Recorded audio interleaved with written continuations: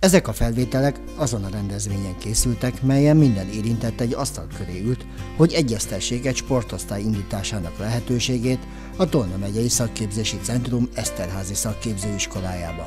Bükkösdi Olga az intézmény vezetője akkor elmondta, minden lehetőséget biztosítanak a tanulóknak a magas színvonalú sporteredmények elérésére és a szükséges tudás elérésére.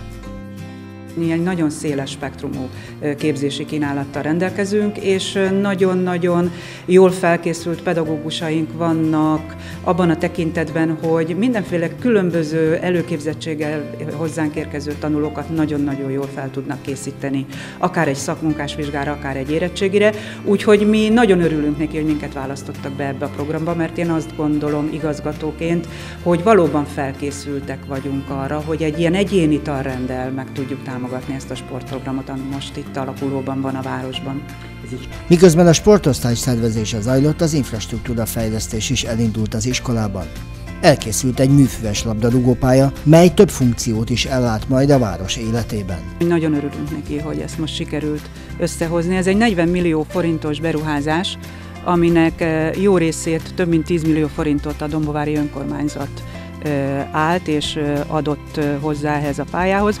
Úgyhogy nagyon örülünk neki, hogy most itt végre megvalósulhatott, mert hát az előző városvezetés egy kicsit negatívan állt hozzá ahhoz, hogy itt egy ilyen pálya alakuljon, de azért mi úgy gondoljuk, hogy ez elsősorban a városi lesz majd. Tehát a városi kispályás labdarúgó bajnokságokat szeretnénk itt lebonyolítani.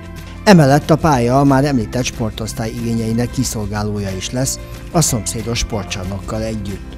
13 konkrét jelentkező van, és egyébként magára a sportosztályra 20 tehát ez azt jelenti, hogy 13-an biztosan fotbalozni szeretnének, és a többi hét pedig mindenféle más sportban szeretné magát kipróbálni. Tudnilik nem konkretizáltuk azt, hogy most ebbe a sportosztályba csak kifejezetten focisták. Bárki, aki úgy gondolja, hogy a sport az életének egy nagyon fontos része, szívesen láttuk és fogadtuk, és nekik is biztosítjuk az egyéni talrendet, hogyha abban a sportágban kiemelkedő.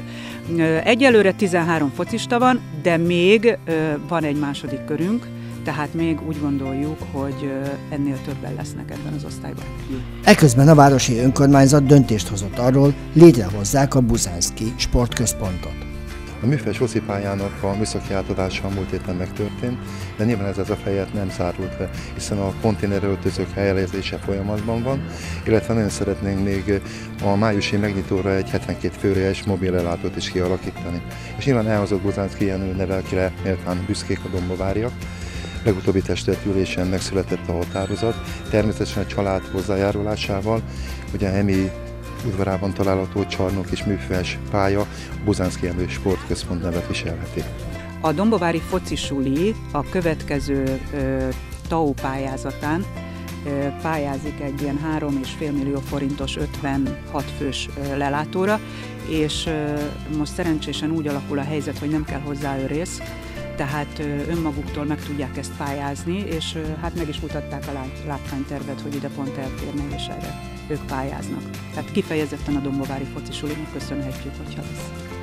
A Dombovári Városi Bajnokság résztvevői mellett a sportosztály induló tanulói számára is kiemelkedően jó körülményeket biztosít majd a város és az iskola arra, hogy megőrizzék egészségüket és hírnevet szerezzenek a városnak a sportsikerek elérésével. Az új műfüves labdarúgó pályán az első mérkőzésre a tervek szerint májusban kerülhet majd sor.